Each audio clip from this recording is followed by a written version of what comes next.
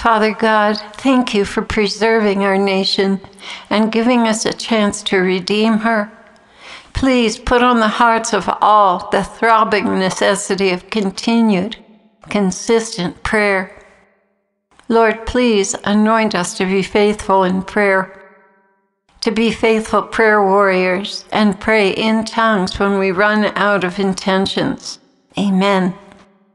My precious family, the Lord has been asking us to pray for our nation day after day after day. I made an initial list, but it just didn't cover everything that I was aware of that was going on. So here is the new one, and I wanted to share it with you. Father God, please keep our military safe in their operations and keenly aware of the stealth of the enemy and expose where he is hiding and what he has planned. Please expose and identify foreign and domestic enemies and their plots against our nation to the right military officials.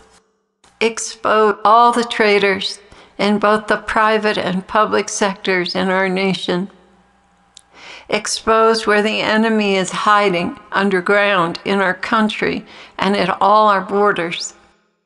Holy Spirit, please help our military think out of the box and prevent an invasion, especially from underground or other disguised locations in our heartland and on our borders.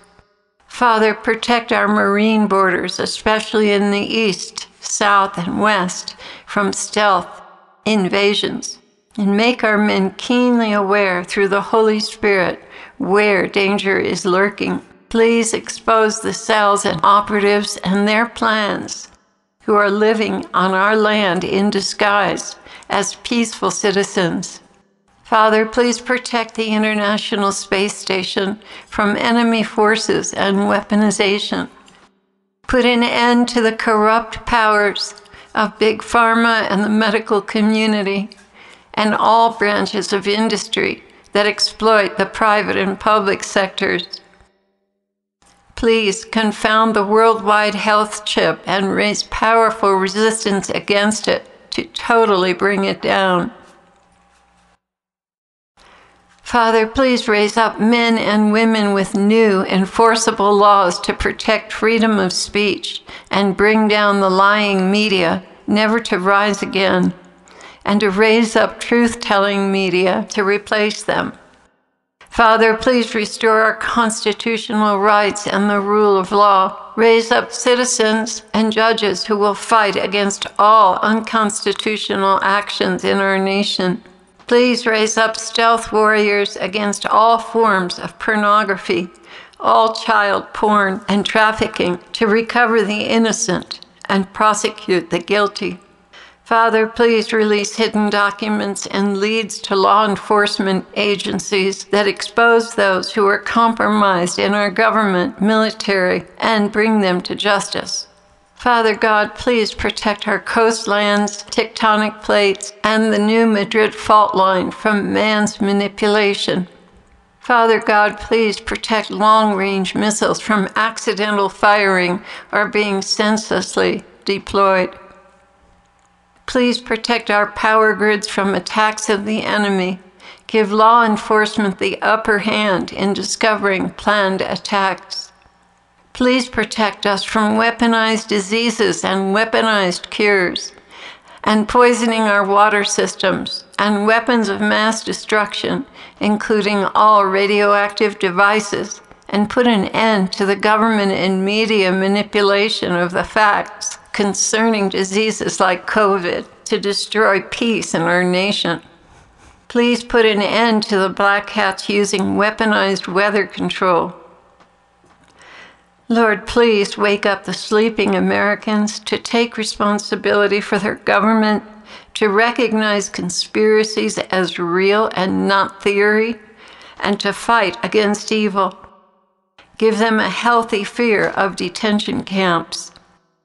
Father, please put a final end to the CCP, the Chinese Communist Party, and all their agendas to destroy America. Lord, please stop the foreign and domestic black hats from manipulating the financial system. Please thwart the attempts to cause a false famine and manipulated scarcity of food and medicines in our nation. Father God, please stop any attempt to launch a false flag event in our nation or abroad, including making America look guilty for something she didn't do. Please put an end to these abominations in our country.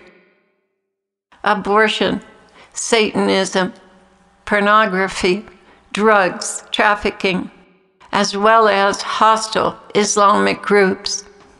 Father, please stop the poisoning and experimentation with chemical, electronic, and biologic weapons on the people. Put an end to such places that teach inhumane war techniques, such as the School of Americas, that trains our national and foreign operatives in crimes against humanity on our own soil. Father God, you appoint rulers for the people and we know that Donald Trump is the president of this nation. Please restore him to his rightful place and remove the traitors and all their influence, and let them be prosecuted, sentenced, and punished. Father God, please lead and raise up President Trump to declare repentance as a first and foremost before any other national agenda, such as MAGA. Prosperity does not make a nation great. Military might does not make a nation great, and atheism destroys a nation. Only God can make a nation great and protect it from destruction. For it is written, Unless the Lord builds the house, they labor in vain who build it. Unless the Lord guards the city, the watchman keeps awake in vain. But first, we must repent for all the harm done to other nations, as well as our own, and especially the harm done to God for allowing religious persecution and cancel culture in our society and educational system. Please strengthen President Trump against every attack and allow only true, dedicated Americans to surround and work for him Thank you for raising up great intercessors to pray behind him for what is right. Please, Jesus, wake up the American people that are asleep so they will understand the great danger our country is in. Thank you, Lord, for hearing the cries of our heart. Amen. And then I asked the Lord, Is there anything you'd like to add?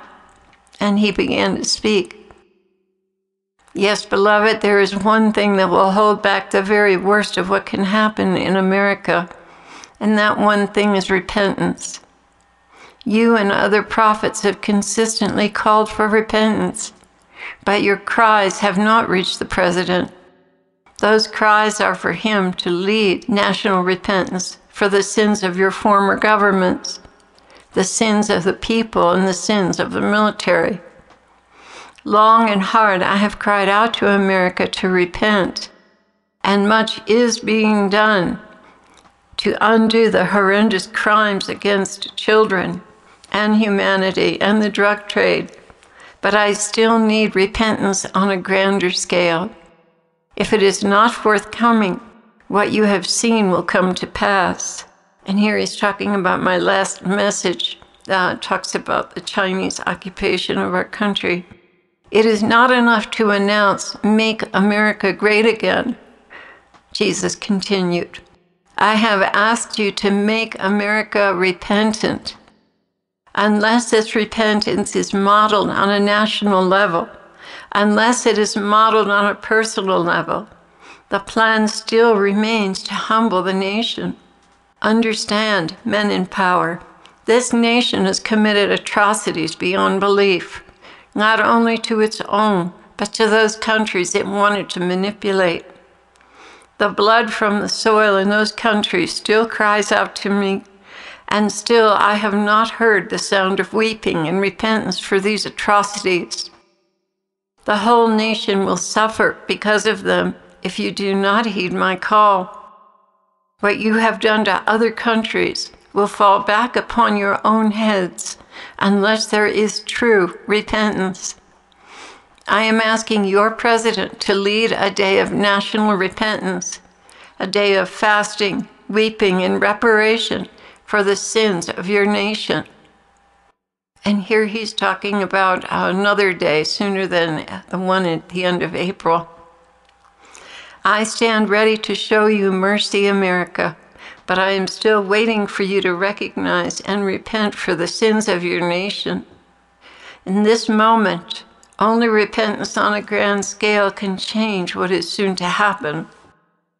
The sins of Hollywood that have gone unchecked and formed the minds and consciences of the young, promoting violence, sexual immorality, divorce, and materialism. The sins of the educational system that has introduced antichrist agendas, sexual perversion, promiscuity, exploitation of women, without being stopped.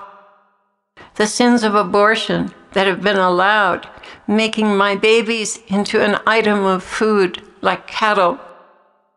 The sins of the elite who have set the stage for a ruined America. The sins of the military that has committed atrocities against mankind. The sins of the medical industry that has profited off the sicknesses and even created the sicknesses in experimentation and for profit. The sins of Wall Street and the wealthy who have stolen from the poor. The sins of a society which has placed material gain above parental guidance and left their children to the state to raise. The sins of agencies that have been corrupted and betrayed the children and families, turning over the compromised to unscrupulous sex traders. The sins of the police and judicial system that have been bought off so that these crimes could go on without being prosecuted. The sins of corporate entities that have stolen, poisoned, and cheated the peoples of the world in order to control and reap gain off the poorest of the poor. America, your sins go on and on without end. Only a massive wake up call will turn your heads around. Even then, there are those of you who will insist the truth is buried in the sand, while millions around you suffer from unjust policies. How am I to release you from your indebtedness to humanity? How am I to overlook your crimes and pass them off? How am I to excuse you of these things when repentance is still a barren concept to you?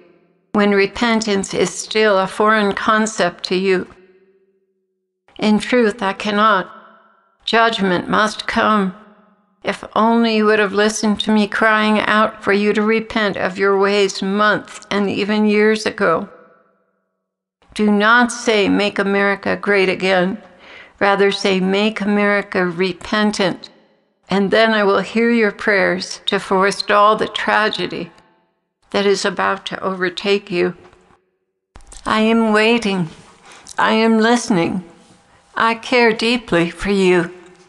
But financial security and prosperity are not my standards of greatness. Rather, righteousness, justice, and honesty are. Know that I love you deeply and I am doing all I can to forestall judgment. Know that I love you deeply, and I am doing all I can to forestall judgment, but I need for you to embrace different standards of greatness. And I am calling Donald to rise up and set the example for his people. Together, we have done wonderful things through your presidency for you did not consider your life more important than this nation. You have made a wonderful start. I want to continue with you without a further breaking of this nation. So please take these words to heart.